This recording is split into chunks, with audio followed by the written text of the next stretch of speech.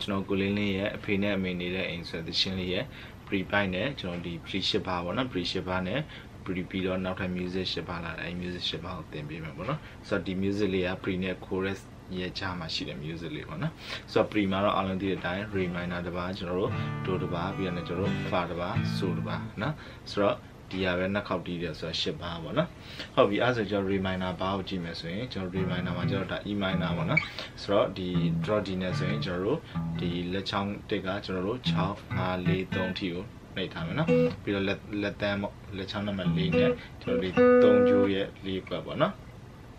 ဆိုတော့3ကျိုး4ကွက်နှိပ်ထားမယ်ဆောင်းမှာဆိုရင်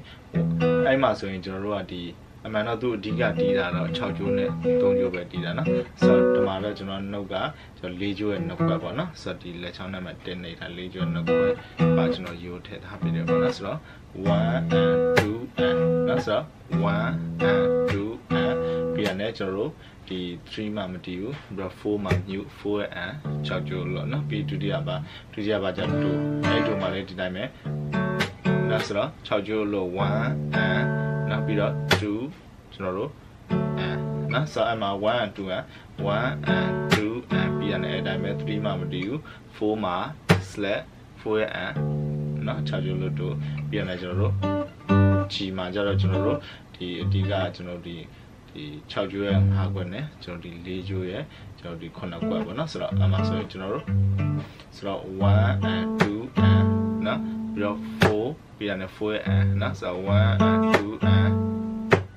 နော်ဆိုတော့ဟုတ်ပြီအဲ့ဒါပြီးရတယ်နောက်ထပ်ကျွန်တော်တို့ A ကွကျွန်တော်ရဲ့ A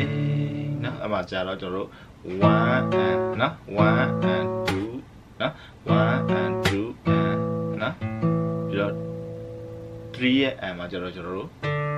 လေးကျိုးအလွတ်တစ်ခုပဲနော်ဆိုတော့တစ်ချောင်းပါနော်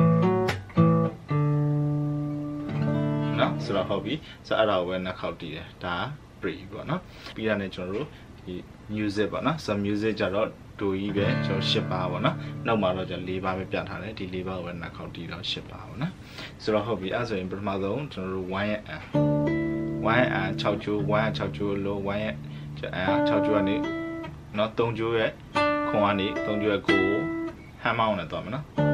ဆိုတော့1 and ပြီးတော့ ပြီးတော့လည်းကျွန်တော်2ရဲ့ and နော်ကိုကနေ7ကို slide ဆွဲမယ်ပြီးတော့လည်း3ရဲ့ and စီ7ကနေ14ကို slide ဆွဲမယ်နော်ဆိုတော့4ရဲ့ and မှာကျတော့3ကျိုးရဲ့73 6ကျိုးရဲ့လို့နော်ဆိုတော့အဲ့ဒါကိုနောက်ပါရဲ့ကျွန်တော်ဒီ CJet 2ရဲ့ anti ဆွဲတော့ပြီးတော့2ရဲ့ A မှာကျတော့ကျွန်တော်30 second ဖြစ်သွားပြီနော်14ရဲ့ နော်14ကနေ73ပူတော့ပြီးတော့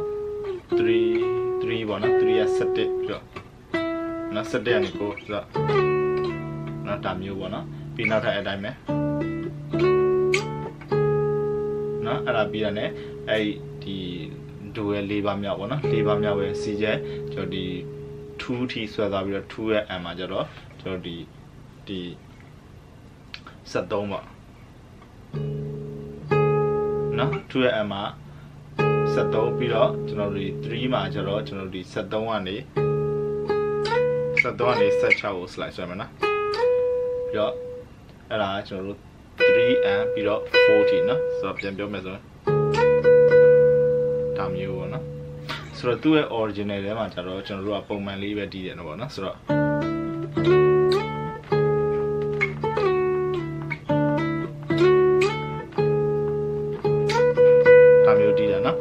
ဆိုတော့ဆိုလိုချင်တာဒီ slap မပါဘူးပေါ့သူ original မှာ beating ပါနေတယ်ပေါ့နော် triangle beating ပါနေတယ်ဆိုတော့ကိုယ့်အနေကိုကျွန်တော်ဒီ guitar only တီးမယ်ဆိုရင်ဒီလိုပုံစံလေးတီးလို့ရတယ်ဆိုတော့နော်ဒါမျိုးတီးလို့ရတယ်နော်နော်ပြီးတော့ဆိုပြီးတော့ chorus ကိုဆက်သွားဆိုတော့ဟုတ်ပြီဆိုတော့ဒါတော့ကျွန်တော်ဒီ pre ပိုင်းနဲ့ကျွန်တော်ဒီ music ရှစ်ပါးလေးကိုကျွန်တော်အရင်ရှင်းပြပေးတာဖြစ်တော့ဗောနော်အခုကျွန်တော်ဒီ pre နဲ့ဒီ music လေးကိုသူ့ရဲ့ original tempo ပေါ့နော်1 to 1နဲ့တစ်ခေါက်တင်ပြပေးမယ်နော်1 2 3 go